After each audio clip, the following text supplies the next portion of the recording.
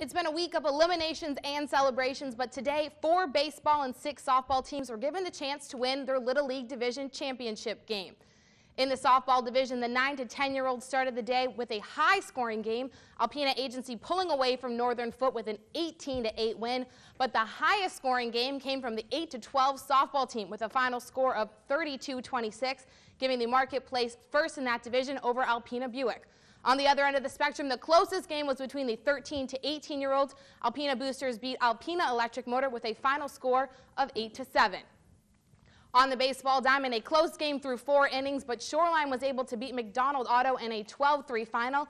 In the last game of the night, the 11 to 12 year olds wrapping up championship Saturday, Northern Foot beat National Association of Letter Carriers 5-1 to complete the winner's circle.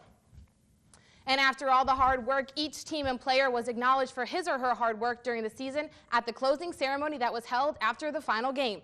Each participant received a medal, and each championship winner was able to walk away with a trophy. Dozens of families gathered at the baseball complex to see their loved ones on their big night and celebrate the end of a successful season. It's one last chance for them to see each other, that they competed against each other all year long uh, some to say goodbye till school starts again and just let them have some fun and win a few prizes.